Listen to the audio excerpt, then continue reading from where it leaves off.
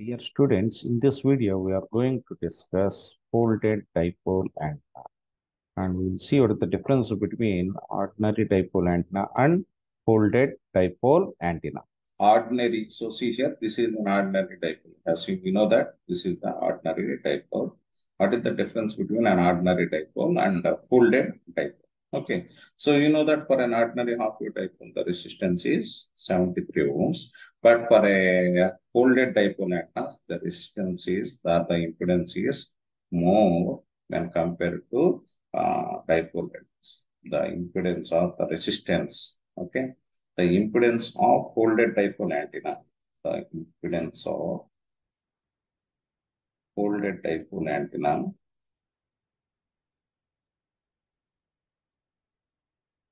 is more when compared to and compared to uh, ordinary type ordinary type. Okay.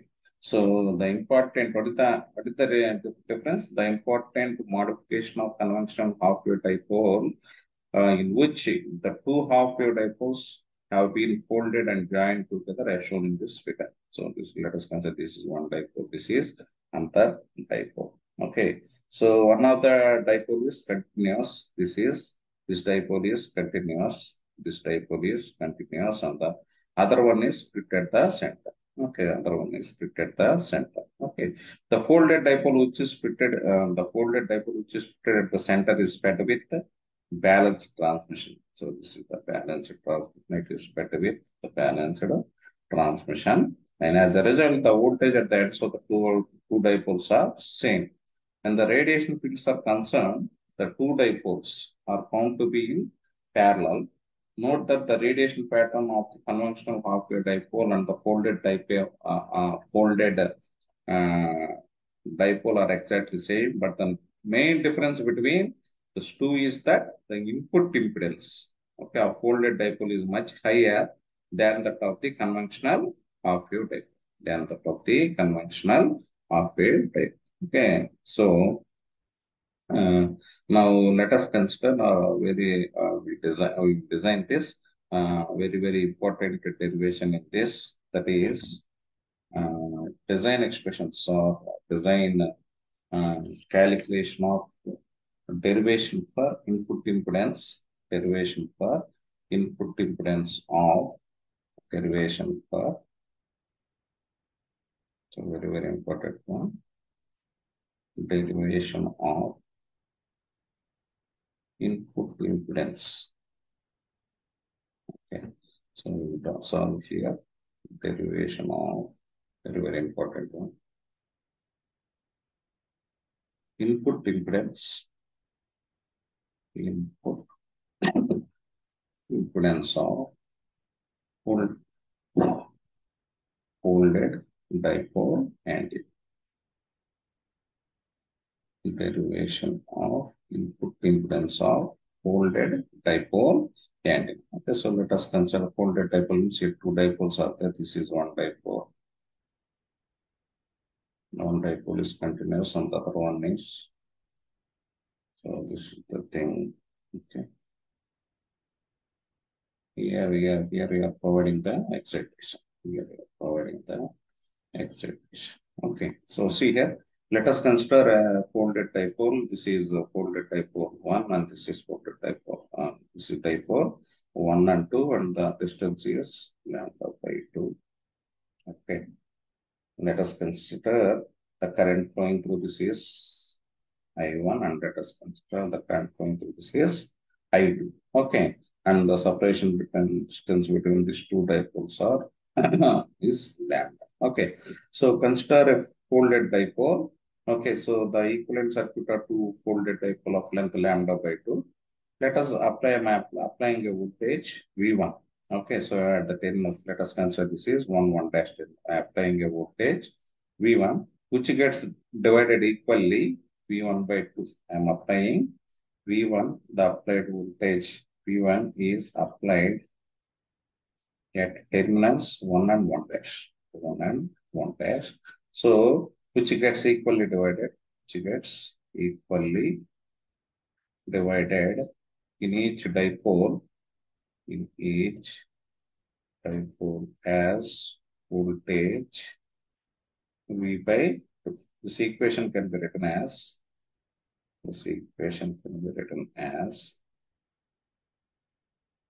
this equation can be written as this equation can be written as so v1 by 2 is equal to z11 i1 plus z12 i2 and this uh, z11 z11 the self impedance z11 is the self impedance of dipole 1 and 2 dipole 1 and 2 whereas z12 is mutual impedance. Z12 is mutual impedance. Z12 is mutual impedance between dipoles 1 and 2 between the dipole 1 and 2 so here I1 and I2 is the current passing through the respective dipoles. If I if we assume that the, both the dipoles are having equal radius, both the dipoles 1 and 2 are having equal radius, are having equal radius, then I can equate it as I1 is approximately equal to I2. I1 is approximately equal to I2. And similarly, if the separation distance, if the separation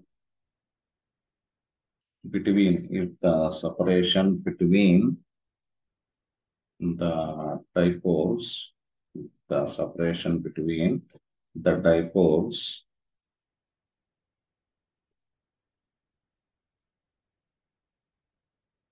is the order of, is the order of lambda by 100, then self-impedance, self-impedance can become equal to,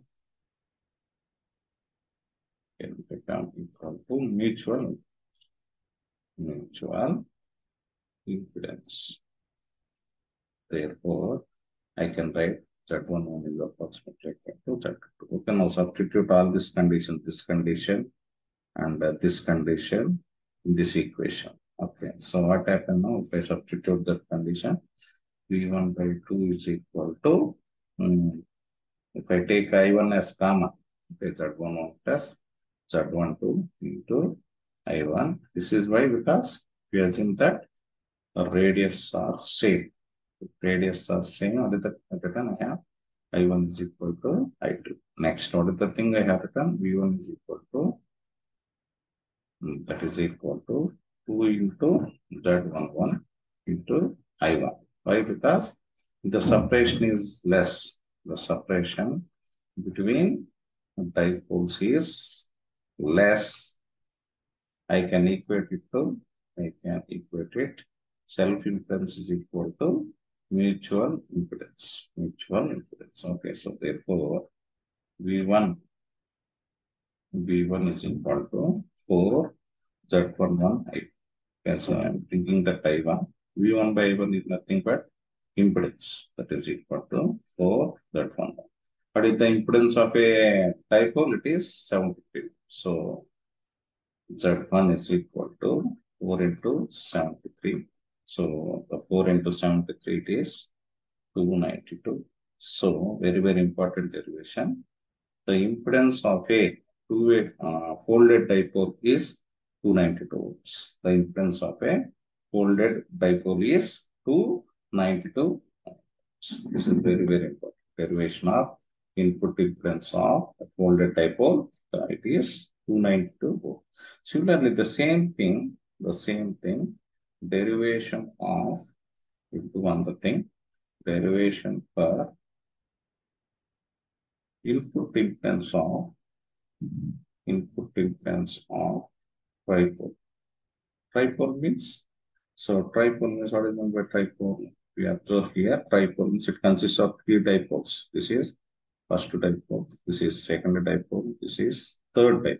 Okay, whereas folded dipole means we are, having only two dipoles. The tripole means it will have three three dipoles. Okay, so three, this is the one, two, three. Now let us see what is the uh, impedance of this tripole. Let us see what is the impedance of this tripole. Okay, the same thing, the same thing. If you draw this diagram like this.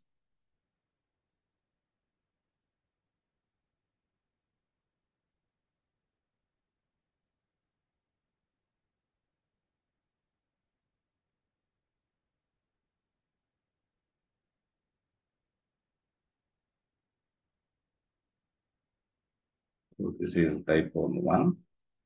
This is dipole two. This is dipole three. If I provided the supply voltage V dash here, what happened? Here also, hmm, uh, V1 by 3 will get distributed equally in all three dipoles. Okay, in all three dipoles, the voltage will get divided equally in all three dipoles. So the expression, what is the expression? V1 by 3 is equal to that 1 1 I1 plus that 1 2 I2 plus that 1 3 I3. What is this I1? I1 is current flowing in this dipole. I2 is current flowing in this. I3 is current. Okay. So next, what is the condition here? Assume if all dipoles are made with all dipoles are same radius or same radius, then what is the condition? I1 is equal to I2 is equal to I3. Therefore, V1 by 3 is equal to, I can take I1 copy. It is equal to Z11 plus Z12 plus Z13. What is this Z11? Z11 is the self-impedance of dipole 1. What is this Z12? The mutual impedance present between a dipole 1 and dipole 2. What is this Z13? Mutual impedance present between 1 and 3. Okay. So next, what is the next condition?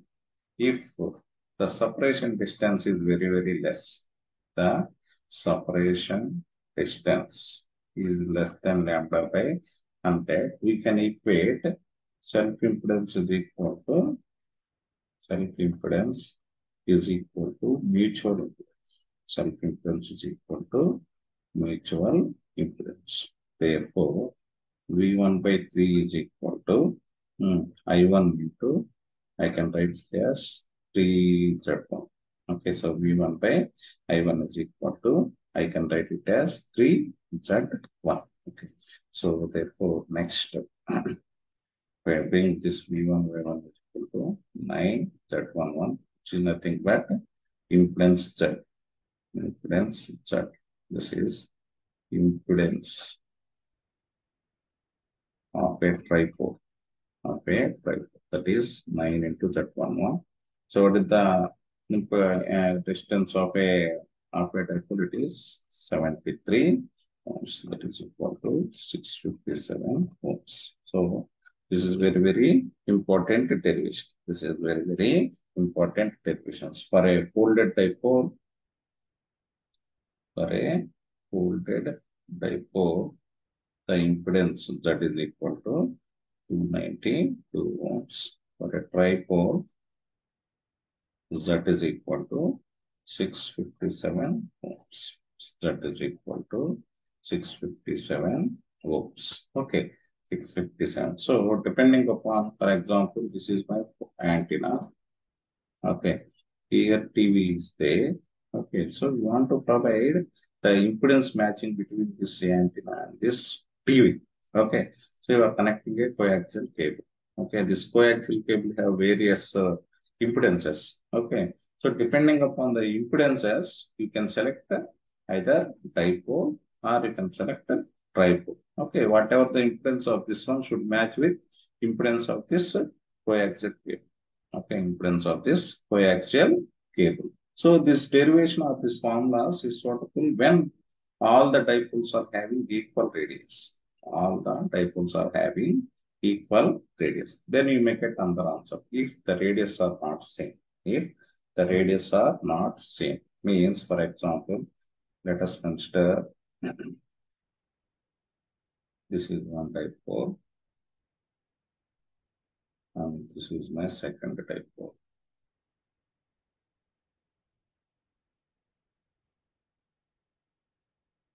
Okay. if you observe here, this is this is R1 radius, and this is R2 radius. Here, R1 is not equal to R2. So this radius, uh, the radius of this dipole, the radius of this dipole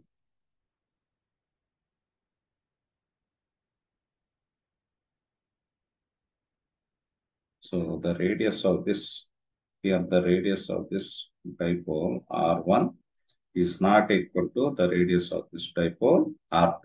In that case, in that case, uh, the uh, it is that folded dipole have the ability of transforming impedance, okay, to the desired value. Okay, so for example, if the cable, if the cable wire is not, so here as I told that, this is my folded, uh, this is my uh, folded dipole, this is my TV. Okay, depending upon the impedance, depending upon the impedance of the cable, the impedance of this cable should match with the impedance of this folded dipole. Okay, so if uh, fixed, if you take two, two, two dipole, it is 290 ohms. If you take tripole, it is 657 ohms. But if the impedance is in between this or other, other than this value, how to get matching to this? Then you can change the radiuses. Then you can change the radiuses. Then the formula is Z is equal to Z11 into 1 plus R2 by R1 whole square. Okay. So R Z is equal to 73 into 1 plus R2 by R1 whole square, where R1 is radius of dipole 1, radius of, so this is very, very important form. The radius are not same, then this is the form, radius of dipole 1. R2 is radius of dipole, okay, radius of dipole 2, okay. So the, the we can say that the folded dipole have the ability of transforming impedance, ability of transforming For example, if the separation distance also we want to consider, let us consider the folded dipole, uh, this uh, dipole R1, uh, this uh, let us consider 1 and 2. This folded dipole 1 and 2 are separated by a distance A, separated by a distance A, then the impedance formula. If the separation distance is also going to consider the formula Z is equal to Z11 into 1 plus log of A by R1 by log of A by R2 whole square. This is the formula. So this is also called as, uh, uh, this is the formula considering for different radiuses and including for um, various radiuses, various radiuses and including separation distance and including separation distance, including separation distance. Okay. So there is one factor called impedance transformation. Impedance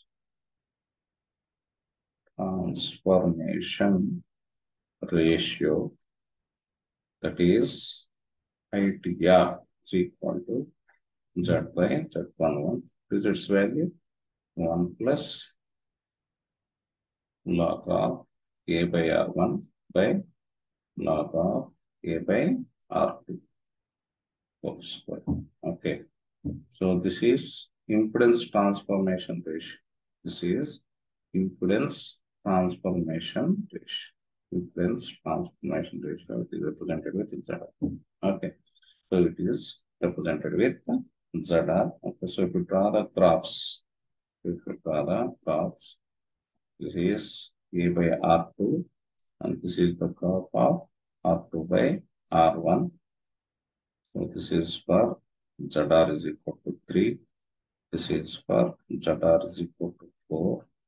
This is for ZR is equal to 9. This is for ZR is equal to 8. Okay. So this is the graph which is showing the impedance transformation ratio. Okay. So in this uh, uh, folded dipole antenna, the derivation of input number, uh, input impedance of folded dipole. Now, this is very, very important. Folded dipole it is 292 ohms. And similarly, the next one is derivation for tripole. Tripole is we have three dipoles. So. Okay. So it is 657 ohms. It is 657 ohms. So if these two impedances are not sufficient, then we can change the radius of the dipoles in order to get the perfect matching between this uh, folded dipole and the cable, folded dipole and cable. Okay, we'll consider the separation distance also. Okay, so these are all the things regarding folded dipole antenna. Thank you.